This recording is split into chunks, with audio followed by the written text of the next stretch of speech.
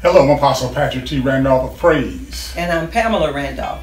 We just want to tell you a little bit about what's coming up our Building Mega Wealth Conference with Apostle Renny McLean. It's going to be an exciting time, Pamela, like the last time. Every time Apostle comes, the house is lit up with great revelation. People's lives are being changed. And I'm looking forward to another session with him because, again, Apostle Renny has so much revelation the Lord speaks to him. And it's like no other, really, to tell you the truth about it. And every time he has come to this ministry, this ministry has been increased. Yes, and he will be talking about mega wealth. I'm so excited about that. We've been talking about the mega all year, and now we're at the mega wealth.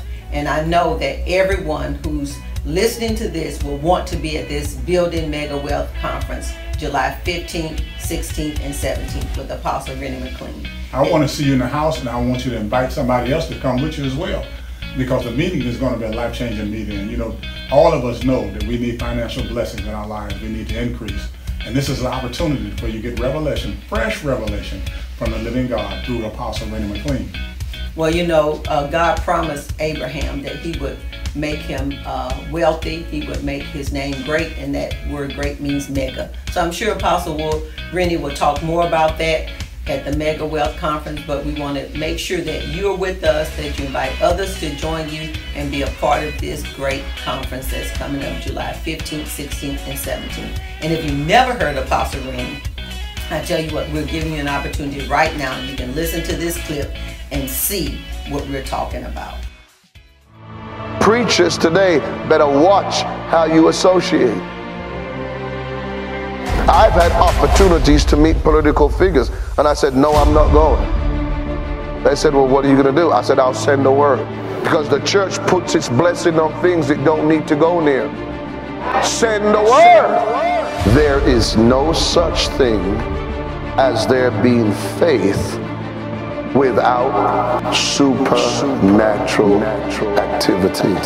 That means if you have faith, there is supernatural activity taking place in your life, whether you realize it or not. Can anybody here tell me what does water and wind have in common? Water has no form. It has no shape. Neither does the wind when faith doesn't have a purpose, it has no shape.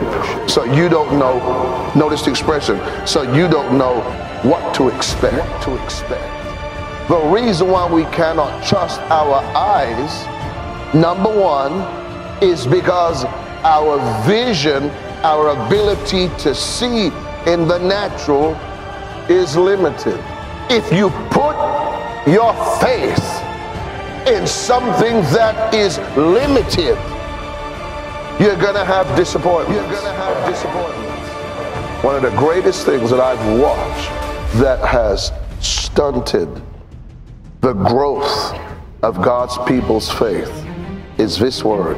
And when I say it to you, no matter who you are, it's going to hit you between your eyes. Is when you put your faith in your experience. In your experience. When Jesus healed people, he didn't heal everybody the same way. In other words, not even Jesus as a man camped in his own experience. And so that's why, remember I said now, if you put your faith in your experience, you're already out of tomorrow's economy. You are not relevant. Your experience, Your experience is no longer, is no longer now. Now.